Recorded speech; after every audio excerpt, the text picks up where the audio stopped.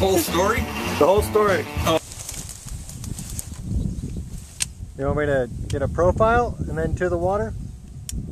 Just video me shooting. Just a side profile?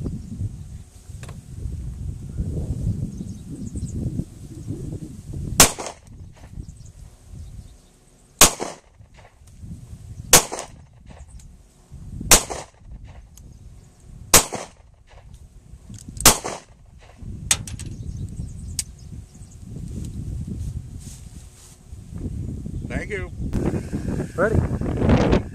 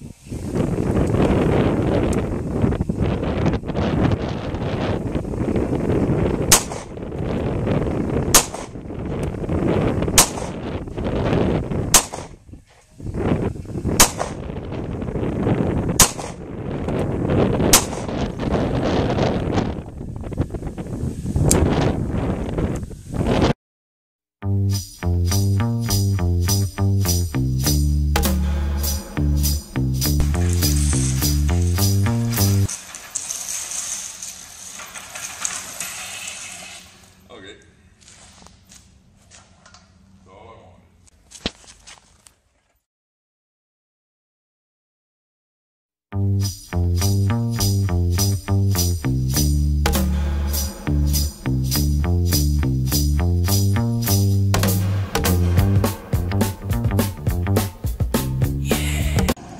we're playing with a bike bug bike motor.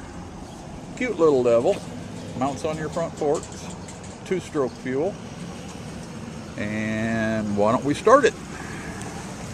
This one's not quite done yet. It's still a project. I have to just put a new carburetor on it. But kind of a cute little devil.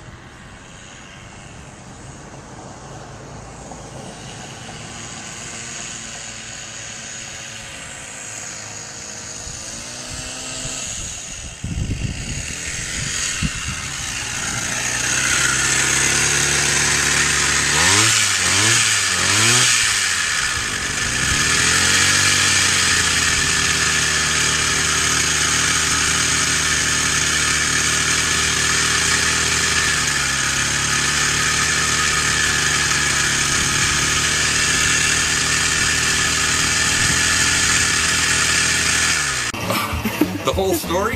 The whole story. Oh, okay.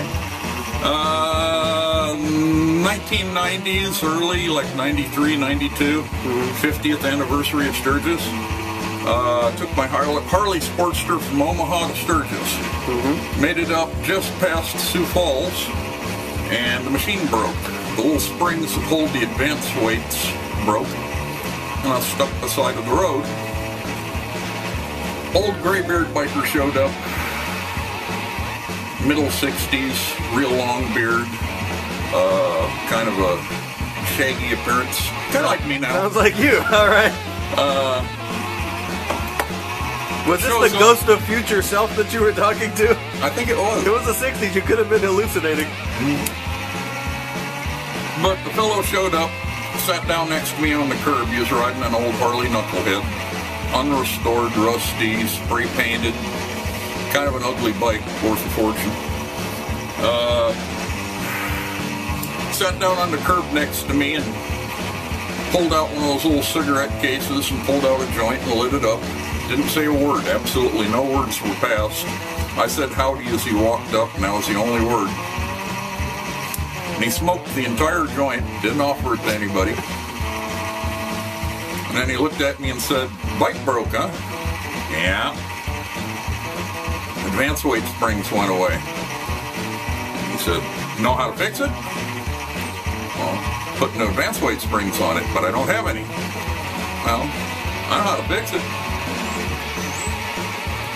Okay, how do you do that? He says, Well, you got a condom? And I said, No, I'm not going to screw it. anyway, he uh, got in his wallet, pulled out this old foil wrapped, ugly condom container, tore it open, handed it to me, and told me to take the point plate off, to stretch the condom around the advance weights, and then take a knife, cut it, and push the condom away from the point cam, put the point plate back in place, and retime it which I did, and promptly the machine fired right up. Uh, the condom held all the way through the week at Sturgis, and then it held for two more weeks. One day when I was driving to work at Sears, uh, it finally broke, and the bike limped into the shop on one cylinder with the other plug fouled. But the condom held up for three weeks. You like to give a shout out to the condom brand so they can. Uh, Trojan. the Trojan. All right. The Trojan.